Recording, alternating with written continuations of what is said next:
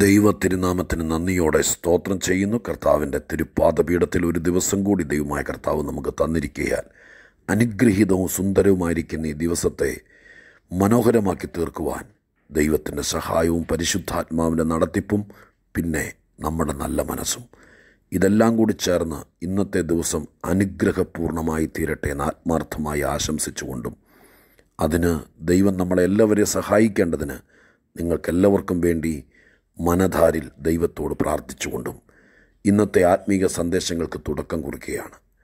യഷിയ പ്രവചനത്തിലെ അറുപതാം അധ്യായത്തിന്റെ പത്താമത്തെ വാക്യം ഞാൻ നിങ്ങളെ വായിച്ചു കേൾപ്പിച്ചുകൊണ്ട് അറുപതാം അധ്യായത്തിന്റെ ഒരു അവലോകന ചിന്ത ധ്യാനത്തിനായി ഇന്ന് നിങ്ങളോട് പങ്കുവയ്ക്കാൻ എനിക്കൊരു ആത്മപ്രേരണ പ്രാർത്ഥനയിൽ ദൈവം തന്നു. ഞാൻ ആ ദൗത്യത്തിന് മുതിരുകയാണ്.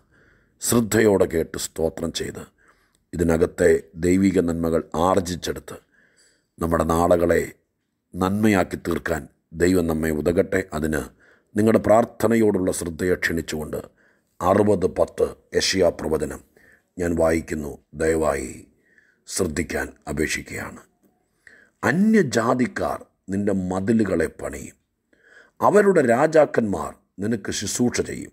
അടുത്ത പദങ്ങളാണ് ധ്യാനത്തിന് ആധാരമായി എടുക്കുന്നത്. ശ്രദ്ധിച്ചോളൂ. എന്റെ ക്രോധത്തിൽ ഞാൻ നിന്നെ അടിച്ചു. എങ്കിലും എന്റെ പ്രീതിയിൽ എനിക്ക് നിന്നോട് കരുണ തോന്നും. ഞാൻ ആ പദങ്ങൾ ഒന്നുകൂടെ പറയട്ടെ. എന്റെ ക്രോധത്തിൽ ഞാൻ നിന്നെ അടിച്ചു. എങ്കിലും എന്റെ പ്രീതിയിൽ എനിക്ക് നിന്നോട് കരുണ തോന്നും. ദൈവം ഒരപ്പനാണെന്ന് ആയിരം വട്ടം ഈ സന്ദേശ സമർപ്പണ വേളയിൽ തന്നെ ഞാൻ നിങ്ങളുമായി പങ്കുവച്ചിട്ടുണ്ട്. വേദപുസ്തകം പറയുന്ന ഏറ്റവും സുന്ദരമായിരിക്കുന്ന ബന്ധമാണ് ഭൂമിയിലെ മൺപൊടികളായിരിക്കുന്ന മനുഷ്യർക്ക് ദൈവത്തെ അപ്പനായി കിട്ടും. ഏറ്റവും വലിയ ബന്ധം ഒരായുസ് കൊണ്ട് അതാണ് സംഭവിക്കേണ്ടത്. ഇവിടെ ഈ വാക്കുകൾ കേൾക്കുമ്പോൾ കാണാൻ കഴിയുന്നത് ഒരു അധികാരിയുടെ ശിക്ഷാ നടപടിയല്ല. അവർ ശിക്ഷിച്ചു വിടുകയുള്ളൂ. പിന്നെ അവൻ എന്തു പറ്റി എന്നുള്ളത് നോക്കിയാൽ കോടതി നമ്മളെ ശിക്ഷിച്ചു. അല്ലെങ്കിൽ സ്തോത്രം ഒരു നാട്ട് പ്രമാണിയോ മറ്റാരോ നമ്മെ ശിക്ഷിച്ചു. ചെയ്ത തെറ്റിന് നമ്മൾ ചെയ്തത് മോശപ്പെട്ട കാര്യമാണെങ്കിൽ അതിന് ആളുകൾ വളഞ്ഞു വെച്ച് ശിക്ഷിച്ചു. പിന്നെ നമ്മൾ ചുമച്ചും രോഗിയായി തീർന്നോ ഇല്ലയോ നാളെ നിനക്ക് എന്തു പറ്റി എന്നുള്ളത് ആ ശിക്ഷ നടത്തിയയാൾ ചിന്തിക്കാറില്ല നോക്കാറില്ല. ഒരു പോലീസുകാരൻ കുറ്റം ചെയ്തതിന് പിടിച്ചു. ചിലപ്പോൾ തെറ്റിദ്ധാരണ കൊണ്ടോ അല്ലാതെയോ സ്റ്റേഷനിൽ കൊണ്ടുപോയി. ഇന്നങ്ങനെയൊന്നുമില്ല. പണ്ട് കാലത്തൊക്കെ മർദ്ദിക്കുമായിരുന്നു എന്ന് കേൾക്കുന്നു. ഇന്നും എനിക്കറിയില്ല അതിനെക്കുറിച്ച്.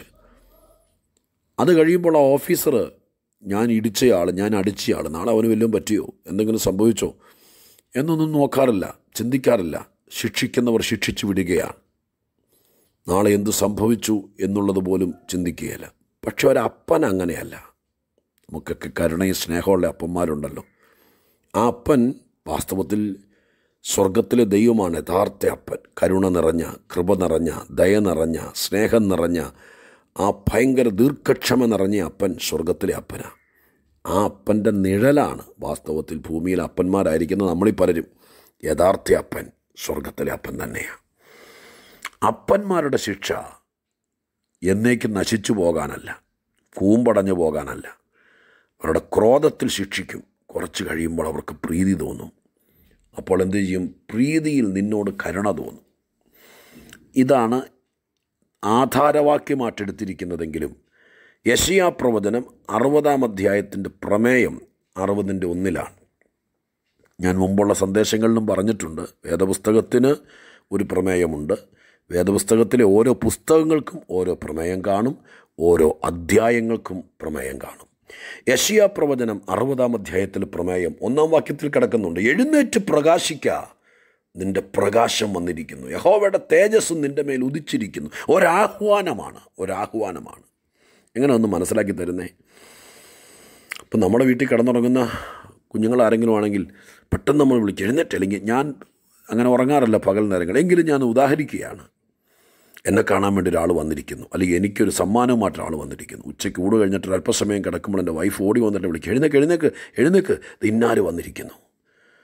എന്ന് പറയുന്ന പോലെ ആ മാതൃകയിൽ ഇവിടെ ദൈവാത്മാവ് യശയാപ്രവചനത്തിന്റെ അവസാനത്തെ അധ്യായങ്ങളിലേക്ക് വരുമ്പോൾ ലോക ജനതയോടെന്നവണ്ണം ഈ പ്രവചന സൂക്തത്തിലൂടെ പറയുകയാണ്. മനുഷ്യനോട് പറയുകയാണ്. അങ്ങനെ പറയുമായിരിക്കും അതിന് പല ആംഗിൾ കണ്ടേക്കാം. മനുഷ്യനോട് പറയുകയാണ്. ഞാൻ വിചാരിക്കുന്നു എന്നോട് പറയുകയാണ്. നിങ്ങൾ എന്നെ കേൾക്കുന്നെങ്കിൽ നിങ്ങളോട് പറയുകയാണ്. നിങ്ങളെ കുലുക്കി വിളിക്കുകയാണ് ദൈവം. അടുത്തു നിന്ന് വിളിക്കുക. എഴുന്നേറ്റേ. എഴുന്നേറ്റേ. എന്താ കാര്യം? ഇപ്പം എന്താ കാര്യം? ഇത്ര നേരത്തെ എഴുന്നേറ്റിട്ട് എന്താ കാര്യം എന്ന് തിരിച്ചു ചോദിക്കുന്ന പിള്ളേർ കാണും. എഴുന്നേക്ക് റീസൺ ഉണ്ട് കാരണമുണ്ട് എന്താ കാരണം? കാരണം ഇതാണ്. നിന്റെ പ്രകാശം വന്നിരിക്കുന്നു. നിന്റെ പ്രകാശം വന്നിരിക്കുന്നു. അതിന് വേറൊരു വേർഷൻ കൊടുത്തിരിക്കുന്ന മീനിങ് ഇതാണ് എക്സ്പ്ലനേഷൻ സ്തോത്ര മീനിങ് എന്നൊക്കെ പറഞ്ഞു. പറഞ്ഞാൽ അതിന്റെ അർത്ഥം ഇത് വിശദമാക്കുമ്പോൾ ഒരു കാര്യം പറഞ്ഞ് ബോധിപ്പിക്കണമല്ലോ. വേദപുസ്തകത്തിന്റെ പ്രത്യേക മാർമിക രഹസ്യങ്ങളാണ്. ചില പദങ്ങൾക്കകത്ത് ഉള്ളടക്കം ചെയ്യപ്പെട്ടിരിക്കുന്ന അസാധാരണ അർത്ഥമുണ്ട്. അപ്പോൾ ഇത് എക്സ്പ്ലെയിൻ ചെയ്യുമ്പോൾ ഇതിന്റെ അർത്ഥം ഇതാണ്. നിന്റെ പ്രകാശം വന്നിരിക്കുന്നു എന്ന് പറഞ്ഞാൽ അതിന്റെ അർത്ഥം ഇത്രയുമാണ്. വേറൊരു വേർഷനിൽ വേറൊരു രീതിയിൽ പറഞ്ഞ ഇതാണ്. നിന്റെ സമയം വന്നിരിക്കുന്നു. നിന്റെ നാഴിക വന്നിരിക്കുന്നു. ഇത് നിന്റെ സമയമാണ്. ഇത് നീ ഉറങ്ങേണ്ട സമയമല്ല. ഇത് നീ കിടക്കേണ്ട സമയമല്ല. ഇത് നീ ഇരിക്കേണ്ട സമയമല്ല. ഇറ്റ് ഈസ് ഇത് നിന്റെ സമയം വന്നിരിക്കുന്നു. ഇത് നിന്റെ സമയമാണ്. അത് വന്നതുകൊണ്ടാണ് വിളിച്ചുണർത്തുന്നത്. എഴുന്നേക്ക്. ഇതാണ് യഷിയാവ് അറുപതിലെ പ്രമേയം.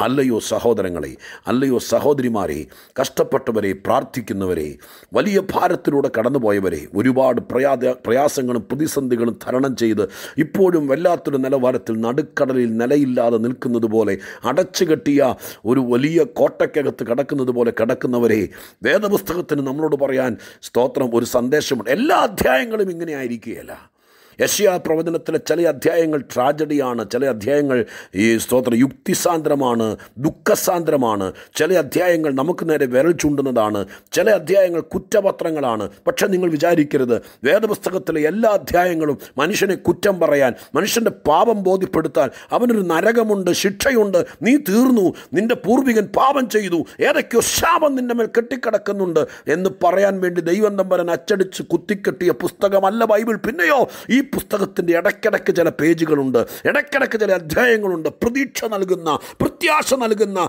തകർന്നു പോയവനെ കൈപിടിച്ചുയർത്തുന്ന അധ്യായമുണ്ട്. അതിലൊരു അധ്യായമാണ് യഷ്യാവ് അറുപത്. അതിൽ പറയുന്നത് ഇങ്ങനെയാണ് നിന്റെ നാഴിക വന്നു. ഇത് നിന്റെ സമയമാണ്. നീ എഴുന്നേക്ക്. ഇതൊരാഹ്വാനമാണ് നിന്റെ മേൽ ലോക ജനതതികളെ മുഴുവൻ ഇരുട്ടുകൊണ്ട് മൂടുമ്പോൾ സ്പോട്ട് ലൈറ്റ് എന്ന് കേട്ടിട്ടുണ്ടോ? ഒരു ലക്ഷ്യത്തിലേക്ക് മാത്രം വരുന്ന ലൈറ്റാണ് സ്പോട്ട് ലൈറ്റ് ദൈവത്തിന്റെ പ്രത്യേകത. പകൽ സൂര്യൻ ഉദിക്കുന്നുണ്ട് ഇവിടെ നേരം വെളുത്തു സ്തോത്രം. സൂര്യൻ ഉദിച്ചു ഭൂമിയെ മുഴുവൻ പ്രകാശിപ്പിക്കുന്നു. എന്നാൽ ഭൂമിയെ മുഴുവൻ പ്രകാശിപ്പിക്കുന്ന സൂര്യനെ പോലല്ല ദൈവത്തിന്റെ പ്രകാശം. ദൈവത്തിന്റെ പ്രകാശം വ്യക്തികളുടെ മേൽ അടിക്കുന്നതാണ്. നിന്റെ വീട്ടിൽ അഞ്ച് പേരുണ്ടെങ്കിൽ നിന്റെ വീട്ടിൽ രണ്ട് പേരുണ്ടെങ്കിൽ സ്തോത്രം അതാരെയാണോ ലക്ഷ്യമാക്കുന്നത് അവന്റെ മേൽ മാത്രം അടിക്കുന്നതാണ്. അതുകൊണ്ട് നിങ്ങൾക്കത് തെളിവ് വേണമെങ്കിൽ പൗലോസിന്റെ മാനസാന്തര വിവരം എഴുതിയിരിക്കുന്ന അപ്പോസ്തല പ്രവൃത്തിയിൽ ഒന്നോ രണ്ടോ മൂന്നോ പ്രാവശ്യം എഴുതിയിട്ടുണ്ട്. അവിടെ പോയി നോക്കണം. അവിടെ കാണുന്നത് ഇങ്ങനെയാണ്. എരിശിലേമിൽ നിന്ന് ഒരു കൂട്ടം ആളുകളുമായിട്ട് സഭയെ മുച്ചൂട് മുടിച്ചു കളയാൻ വേണ്ടി സ്തോത്രം കച്ചകെട്ടി ഇറങ്ങിയ പൗലോസിന്റെ മേൽ മാത്രം ഒരു വെളിച്ചം അടിച്ചു. അവന്റെ മേൽ മാത്രം ഒരു സ്പോട്ട് ലൈറ്റ് അവന്റെ മാത്രം കണ്ണടിച്ചു പോയി. എല്ലാവരുടെയും ആ ചുറ്റി മിന്നിയിരുന്നെങ്കിൽ എല്ലാവരുടെയും കണ്ണുപോയനെ അവനെ മാത്രം. ഈ ലൈറ്റിന്റെ പ്രത്യേകത ലക്ഷ്യം വയ്ക്കുന്നവന്റെ മേൽ മാത്രം തട്ടുന്നൊരു വെളിച്ചം സ്വർഗത്തിൽ നിന്നിറങ്ങി വരുന്നുണ്ട്.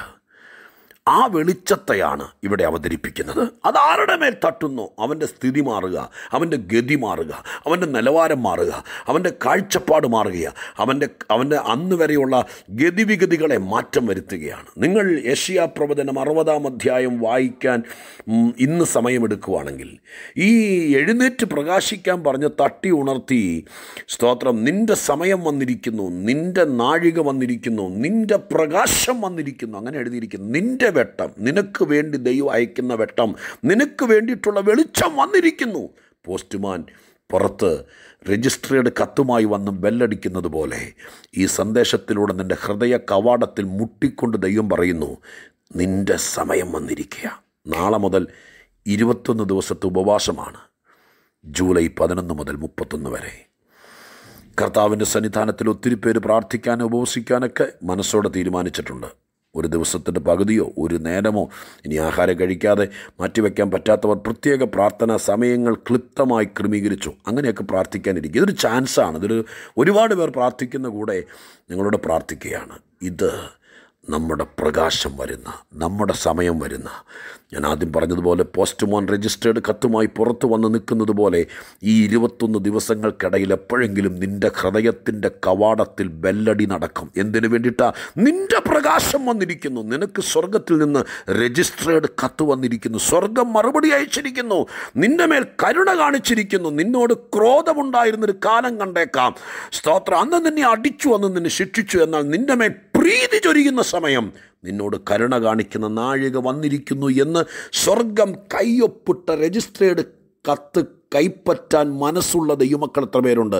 അവരൊരാമയും പറഞ്ഞുകൊണ്ട് നാളെ രാവിലെ സ്തോത്രം പ്രാർത്ഥന തുടങ്ങുമ്പോൾ ദൈവസന്നിധിയിൽ പ്രതീക്ഷയോടെ കർത്താവിന്റെ കരങ്ങളിൽ ഏൽപ്പിച്ച് പ്രാർത്ഥിച്ചു തുടങ്ങുക പ്രതീക്ഷയോടെ നിങ്ങൾ എഴുതി വയ്ക്ക് ഈ ട്വന്റി വൺ ഡേയ്സ് ഫാസ്റ്റിംഗ് പ്രയറിൽ എന്നോടുകൂടെ സഹകരിപ്പാൻ ആയിരക്കണക്കിന് ആളുകളോട് കൂടെ സഹകരിപ്പാൻ ഞാൻ വീണ്ടും ആവർത്തിക്കുന്നു. എങ്ങനെയാണ് ഉപസിക്കേണ്ടത്? അതിനെക്കുറിച്ചൊന്ന് പറഞ്ഞു തരാം എന്നൊക്കെ ചോദിക്കുന്ന. ഒത്തിരി പേരുണ്ട്. ഞാൻ പറ്റിയാലൊരു ഒരു ഒരു ഒരു വോയിസ് മെസ്സേജ് ഇട്ടേക്കാം. സ്തോത്രം കേൾക്കും. എല്ലാവർക്കും വേണ്ടി നിങ്ങളോട് ഞാൻ ആത്മാർത്ഥമായിട്ട് ഈ ഈ പതിനഞ്ച് മിനിറ്റ് സന്ദേശത്തിൽ ഓടിച്ചു പറയുമ്പോൾ അതും കൂടി പറയാനുള്ള സമയമില്ല. ഈ ദൂത് എനിക്ക് തീർക്കണമല്ലോ. അതുകൊണ്ട് ഞാൻ ഇങ്ങനെ പറയാം. എന്നെ കേൾക്കുന്ന പ്രിയപ്പെട്ടവരെ കഴിവിന്റെ പരമാവധി നിങ്ങൾ പ്രാർത്ഥനയ്ക്ക് സമയം കൂട്ടി ദൈവസന്നിധിയിൽ ഇരിക്കുമ്പോൾ ഈ ട്വന്റി വൺ ഡേയ്സ് ഈ ജൂലൈ മാസത്തിൽ ഞാൻ അമിതമായി അമിതമായി അമിതമായി ആവർത്തിച്ച് പറഞ്ഞുകൊണ്ട് വിശ്വസിക്കുന്നു നിങ്ങളുടെ കോളിംഗ് ബെല്ലടിക്കും നിങ്ങളുടെ വീടിന്റെ അല്ല നിങ്ങളുടെ ഹൃദയത്തിൽ ബെല്ലടിക്കും എന്തിനാണെന്നറിയാമോ?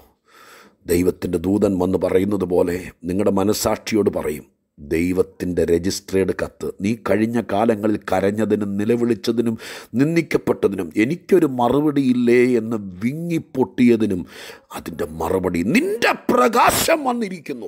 നിന്റെ സമയം വന്നിരിക്കുന്നു. നിന്റെ മറുപടി വന്നിരിക്കുന്നു. നിന്റെ കണ്ണുനീരിന് മറുപടി വന്നിരിക്കുന്നു. നിന്റെ ഏങ്ങലടിക്കും തേങ്ങലിനും ഒരു പരിഹാരം വന്നിരിക്കുന്നു. നീ ചോദിച്ചതിന് മറുപടിയും ഉത്തരവും വന്നിരിക്കുന്നു എന്ന് പറഞ്ഞുകൊണ്ട് നിന്റെ ഹൃദയ കവാടത്തിൽ മുട്ടുന്ന ശബ്ദം ജൂലൈ മുപ്പത്തി ഒന്നിന് ഉള്ളിൽ കേൾക്കട്ടെ എന്ന് ഞാൻ ദൈവാത്മാവിൽ ഈ സന്ദേശം കൈമാറുമ്പോഴും പ്രാർത്ഥിക്കുകയാണ്. ഇതാണ് ഈ അറുപതാം അധ്യായത്തിന്റെ ഉള്ളടക്കം കേട്ടോ പ്രമേയം. നിങ്ങൾ അറുപതാം അധ്യായം ഉപവാസ പ്രാർത്ഥനയ്ക്കൊരു മുന്നോടി എന്ന വണ്ണം ഇന്ന് നാളെ രാവിലെ എന്റെ സന്ദേശം നിങ്ങളുടെ ഫോണിൽ കിട്ടുന്നതിനേക്കാൾ മുമ്പ് എപ്പോഴെങ്കിലും ഇരുന്ന് വായിക്കണം. ഇത് നിങ്ങളെ സ്നേഹിക്കുന്ന ഒരു കർത്തൃദാസന്റെ അപേക്ഷയാണ്. നിങ്ങളങ്ങനെ വായിക്കുമ്പോൾ നാൽപ്പത്തി ആറ് കൂട്ടം കാര്യങ്ങൾ എണ്ണി എണ്ണി വായിക്കണം പറ്റുമെങ്കിൽ ബുക്ക് എടുത്തെടുത്ത് എഴുതി വയ്ക്കണം നീ എഴുന്നേറ്റാൽ നിൻ നീ നീ എഴുന്നേറ്റ് പ്രകാശിക്കാൻ തുടങ്ങിയാൽ നീ ഇത് കൈപ്പറ്റിയാൽ നിന്റെ സമയമാണെന്ന് നീ തിരിച്ചറിഞ്ഞ് നീ നിൻ ദൈവത്തിന് വേണ്ടി പക്ഷം ചാരി നിന്നാൽ നാൽപ്പത്തിയാറ് കൂട്ടം കാര്യങ്ങളാണ് താഴേക്ക് എഴുതിയിരിക്കുന്നത്. സ്തോത്രം. എന്തൊക്കെയാണെന്നൊരു ക്ലൂ തരാം കേട്ടോ. താഴേക്ക് എഴുതിയിരിക്കുന്ന നോക്കി. എഴുതിയിരിക്കുന്ന ഇങ്ങനെയാണ്. സ്തോത്രം. നിന്റെ മേൽ യഹോവ ഉദിക്കും. സ്തോത്രം. നിന്റെ തേജസ് നിന്റെ പ്രത്യക്ഷ അവന്റെ തേജസ് നിന്റെ മേൽ പ്രത്യക്ഷമാകും. ജാതികൾ നിന്റെ പ്രകാശത്തിലേക്കും രാജാക്കന്മാർ നിന്റെ ഉദയശോഭയിലേക്കും വരും. കണ്ടോ? അതെല്ലാം കൈമടക്കുക. നീ തലമൊക്കെ ചുറ്റും നോക്കുക. അവരെല്ലാവരും ഒന്നിച്ചുകൂടി നിന്റെ അടുക്കൽ വരുന്നു. ഓക്കെ? അങ്ങനെ ഓരോന്നും ഓരോന്നും ഓരോന്നും വരിക. ആറാമത്തെ അഞ്ചാമത്തെ വാക്യം ഒന്ന് എടുത്ത് ഞാൻ പറയട്ടെ. അവിടെ പറയുന്നു അപ്പോൾ നീ കണ്ട് ശോഭിക്കും. നിന്റെ ഹൃദയം പെട്ടച്ച് വികസിക്കും. അപ്പം ഇങ്ങനെയാണ് ഒന്ന് അത് അഞ്ചാം വാക്യം വായിക്കുമ്പോൾ നിന്റെ നീ നീ കണ്ട് ശോഭിക്കും. അതൊന്നേന്ന് പറഞ്ഞ് നമ്പർ ഇട്ട് എഴുതണം. ഒന്നല്ല മുകളിലുണ്ട് അതിന്റെ നമ്പർ ഇടുമ്പോൾ. അടുത്തത് നിന്റെ ഹൃദയം പിടച്ച് വികസിക്കും. അത് മറ്റൊന്നാണ്. ഇങ്ങനെ താഴേക്ക് താഴേക്ക് എണ്ണുമ്പോൾ സ്തോത്രം. നാൽപ്പത്തി ആറ് കൂട്ടം കാര്യങ്ങൾ അറുപതാം അധ്യായത്തിനകത്ത് സർവശക്തനായ ദൈവം പാക്ക് ചെയ്തിട്ടുണ്ട്. ഒരു മെഗാ പാക്കേജാണ് ഞാൻ ഇന്ന് രാവിലെ വായിച്ചപ്പോൾ നിങ്ങൾക്ക് കൈമാറുന്ന ഈ പ്രാവശ്യത്തെ പ്രാർത്ഥനയിൽ നിങ്ങൾ കഴിയുന്നിടത്തോളം പ്രാർത്ഥിക്കണേ. ചുമ്മാ ഇരുന്ന് ഷാജി പാസ്റ്ററോടോ മറ്റൊരു പാസ്റ്ററോടോ കാര്യം പറഞ്ഞതുകൊണ്ട് നിങ്ങളുടെ വിഷയങ്ങൾ നടന്നു എന്ന് നിങ്ങൾ വ്യാമോഹിക്കരുത്. ഞങ്ങളെപ്പോലത്തെ കർത്തൃദാസന്മാർ നിങ്ങളെ പ്രൊമോട്ട് ചെയ്യും. നിങ്ങളൊന്ന് തട്ടി ഉണർത്തും. കാരാഗ്രഹത്തിനകത്ത് ചങ്ങലയിൽ കിടക്കുന്ന ആമത്തിൽ കിടക്കുന്ന പത്രോസിന്റെ വിലാപ്പുറത്ത് തട്ടി ഉണർത്തി എന്നതുപോലത്തെ ഒരു ശുശ്രൂഷയാണ് ഞങ്ങൾക്ക് ചെയ്യാൻ പറ്റുള്ളൂ. വസ്ത്രം ധരിച്ച് ചെരുപ്പിട്ട് അരമുറുക്കി പുറകെ വരേണ്ട നിങ്ങളല്ലേ? ഉണരണ്ടേ? നമ്മളല്ലേ? നമ്മളതിന് ആഹ്വാനം തരുമ്പോൾ തയ്യാറാകുക. ഇത് ഒരു പാക്കേജാണ്. ഒറ്റ കാര്യമാണ് യഷ്യാവിൽ ആവശ്യപ്പെട്ടത്. എഴുന്നേറ്റ് പ്രകാശിക്ക്. നിന്റെ പ്രകാശം വന്നിരിക്കുന്നു. നിന്റെ മേലെ ഹോവ ഉദിച്ചിരിക്കുന്നു. എഴുന്നേക്ക് എന്ന് പറഞ്ഞു ഇതിന് തയ്യാറായപ്പോൾ നാൽപ്പത്താറ് അനുഗ്രഹങ്ങളാണ്. ഒറ്റ കാര്യം അങ്ങോട്ട് ചെയ്തപ്പോൾ നാൽപ്പത്താറ് അനുഗ്രഹം ഇങ്ങോട്ട്. എന്റെ പ്രിയപ്പെട്ടവരെ ഈ പ്രാർത്ഥനയിൽ ഈ ഉപവാസത്തിൽ നാളെ മുതൽ തുടങ്ങുന്ന പ്രത്യേക അനുഗ്രഹ മീറ്റിങ്ങിൽ നിങ്ങൾ മനസ്സൊരുക്കത്തോടെ തയ്യാറാകുമ്പോൾ എന്റെ ദൈവത്തിന്റെ പ്രീതി എന്റെ ദൈവത്തിന്റെ പ്രീതി നിന്റെ മേലുദിക്കും നിന്റെ മേൽ ഇറങ്ങി വരും. ദൈവം കരുണ തോന്നും. കാലം മാറും. നിന്റെ ജീവിതം മാറ്റുന്ന പ്രാർത്ഥനയാക്കി മാറട്ടെ. ഈ ദിവസങ്ങൾ ഈ ജൂലൈ മാസം നിന്റെ കണ്ണുനീര് തുടക്കുകയല്ല നിന്റെ ലൈഫ് ചേഞ്ചിന്റെ സമയമാക്കി മാറ്റട്ടെ. ഞാൻ അഞ്ചാം വാക്യം ഒന്നോട് ഒന്നോട് പറഞ്ഞു കൊടുത്തു അറുപതാം അധ്യായത്തിന്റെ മൊത്തം ഒരു അവലോകനമാണ് പറഞ്ഞു നിൽക്കുന്നത് കേട്ടോ. ഒരു വാക്യത്തിൽ നിന്നല്ല. അഞ്ചാം വാക്യം ഒന്നോടെ പറയട്ടെ. നീ എഴുന്നേക്കാൻ തയ്യാറായാൽ നിന്റെ സമയമാണെന്ന് നീ തിരിച്ചറിഞ്ഞാൽ നീ ശോഭിക്കാൻ തയ്യാറായാൽ അഞ്ചാം വാക്യത്തിൽ പറയുന്നു നീ കണ്ട് ശോഭിക്കും നിന്റെ ഹൃദയം പിടച്ച് വികസിക്കും. ശോഭിക്കുക നീ ഷൈൻ ചെയ്യും. മറ്റുള്ളവരുടെ നടുവിൽ നിന്ദിച്ചവരുടെ നടുവിൽ ഷൈൻ ചെയ്യും. അടുത്തത് നിന്റെ ഹൃദയം എക്സൈറ്റ്മെന്റ് എന്ന് പറഞ്ഞാൽ സ്തോത്രം ശരിക്കും അങ്ങ് വികാരഭരിതനാകുന്നത് എപ്പോഴാണ് നമ്മളങ്ങ് സർപ്രൈസ്ഡാകുന്ന സമയം. എന്നതുപോലെ ഒരിക്കലും വിചാരിക്കാത്ത ഒരിക്കലും ചിന്തിക്കാത്ത പ്രാർത്ഥിക്കുന്നൊക്കെ ഉണ്ടെങ്കിലും ഇത്രയും വലിയൊരു മറുപടി വരുമെന്ന് വിചാരിക്കാത്ത സമയത്താണ് നമ്മൾ എക്സൈറ്റ് ആകുന്നത്. ഈ വാക്യം അങ്ങനെ പറയുന്നു നിന്റെ ഹൃദയം പെട്ടച്ച് വികസിക്കും. അങ്ങനെ ഹൃദയം ചുരുണ്ടു പോകും ഇടുങ്ങിപ്പോകും കുഞ്ഞായിപ്പോകും. എന്നും ചീത്ത കേട്ട് എന്നും പള്ളു കേട്ട് എന്നും കഷ്ടം സഹിച്ച് എന്നും നിന്ന സഹിച്ച് എന്നും കുത്തുകൊണ്ട് നിൽക്കുമ്പോൾ നമ്മുടെ ഹൃദയം ചുരുണ്ട് ചുരുണ്ട് ചുരുണ്ട് ചുരുണ്ട് ചുരുണ്ട് ഡ്രൈ ആയിപ്പോവും രക്തയോട്ടം നിലച്ചതുപോലെ വരണ്ട നിലം പോലെ ആയിപ്പോവും എന്തിനാ ജീവിക്കുന്നത് എന്തിനാ നിൽക്കുന്നത് അങ്ങനെ ഒരു സ്ഥിതിയിലായിരിക്കും ഇപ്പോൾ നമ്മുടെ കൂടെയുള്ള സഹോദരങ്ങളിൽ പലരും. എന്നാൽ ദൈവം പറയുന്നു നിന്റെ ചുരുണ്ടുപോയ വരണ്ടുപോയ ഹൃദയം ഡ്രൈ ആയിപ്പോയ ഹൃദയം പെട്ടച്ച് വികസിക്കും. അങ്ങനെ എഴുതിയിരിക്കുന്ന പച്ച മലയാളം പെട്ടച്ച് വികസിക്കും.